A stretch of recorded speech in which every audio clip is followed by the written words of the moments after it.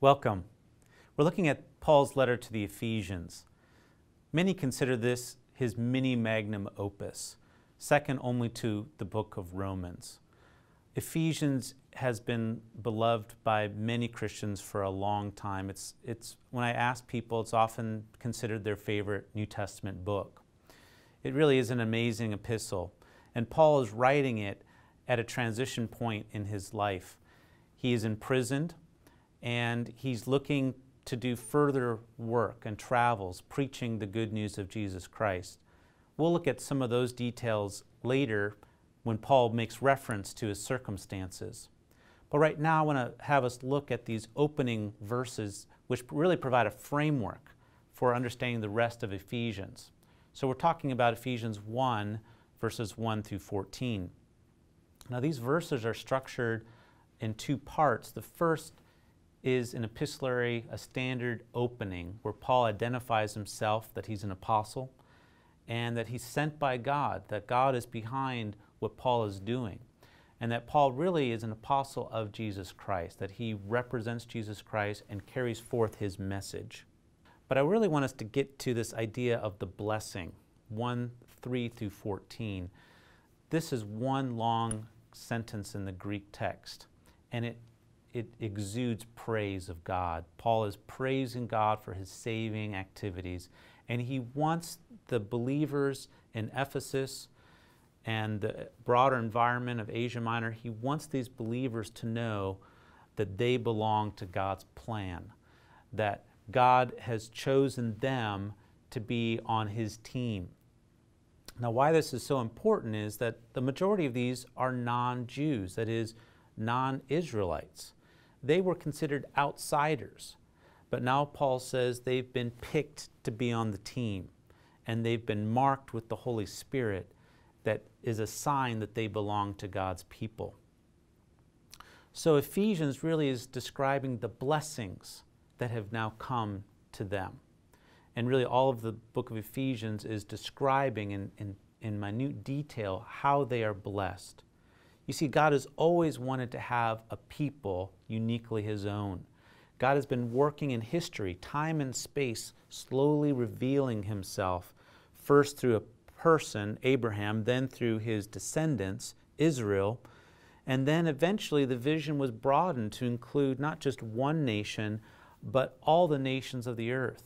And that's what's happened with the coming of Jesus Christ. When God sent Jesus Christ, he opens up his plan of salvation, his will, and made known the mystery of his will to include all peoples. And so this is, this is really what this opening is about, is saying to the Gentiles that you belong to God's people. Now, how are they included in God's people? What makes them a part of God's people? Well, Paul describes a process that they went through. First, they heard the word of truth, that is the gospel, the good news of Jesus Christ. Now, this good news is, is exactly what it sounds like it is salvation, it brings blessings and, and wonderful things for them. So they heard this message, and in response to it, they believed. And this is, this is the proper response when you hear what God has done to save you. It is to trust that God is true to His Word. And this is what they did. They believed the good news. And as a result of, of hearing and believing, God has responded in kind to send them His Holy Spirit. They're, they're sealed with the Holy Spirit. Now, a lot of people will misunderstand what this sealing means. They'll think of uh, saran wrap or a lock and key, that it's somehow sealed, closed, and, and no longer accessible or freed uh, to be escaped. But that's not the, the meaning of the word seal. The word seal here has to do with official marking, like a signet ring. Uh, kings had rings with their seal on it, and when they wanted to mark something as official, they would have the wax on it and they would mark it, and that was called the sealing. And so, believers in Christ Jesus have God's official marking on them. That is, the Holy Spirit is a mark that they're authentic, that they're, they belong to God, that they're in His family, and that they're legitimate. And so that's what Paul wants to communicate, especially to believers in Ephesus, is that they are legitimate and belong to God's people. And really, I think this strikes to a core of what it means to be a human being. I think we all struggle with being legitimate. We feel like phonies, we feel like we don't belong, we wonder what our place is in life. And Paul says that we, in fact, have a place, that God has always wanted a people to be uniquely His own people, a holy people. And that's what we now have become in Christ Jesus.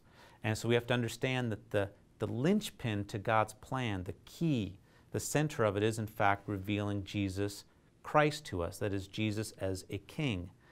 And so when we hear the good news of Jesus the King and we believe the good news of Jesus the King, God seals us and we become legitimate and now God's, we become God's special people.